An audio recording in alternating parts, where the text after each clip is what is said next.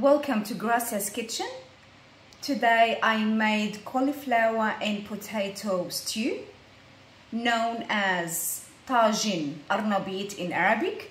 Let's go to the ingredients and method.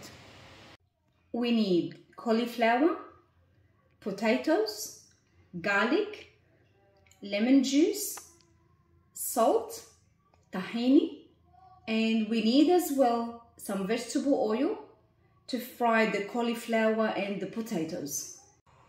I just cut the potatoes into small cubes and the cauliflower and now it's time for frying.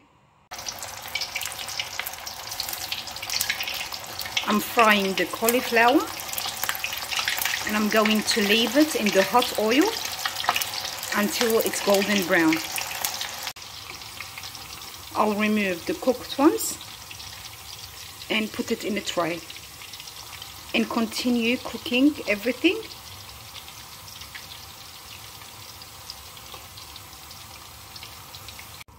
And now we'll be frying the potatoes in the same oil.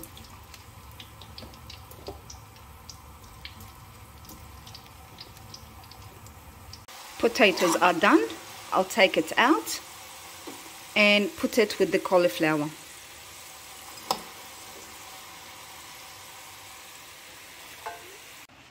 I'll mix the potatoes and the cauliflower together. I'll put it aside and prepare the dressing. I'll mince some garlic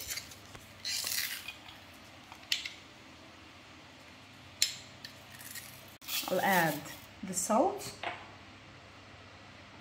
and some lemon juice.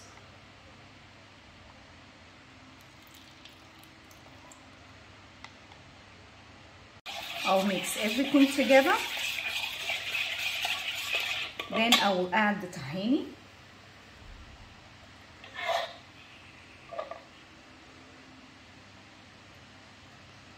Mix them together then I will add water so I can thin the sauce. I added some water and I'll add some more.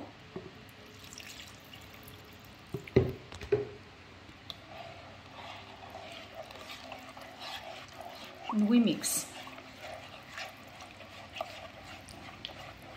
When the consistency of the dressing is thin,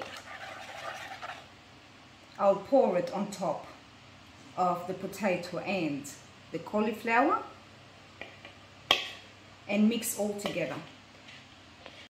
I'll mix everything together so everything is coated. I make sure that the tahini is everywhere and reaches the corners. Now I'm going to put it on the stove on medium heat and cook everything together. I keep on stirring from time to time so the tahini sauce doesn't stick on the bottom of the tray my meal is ready.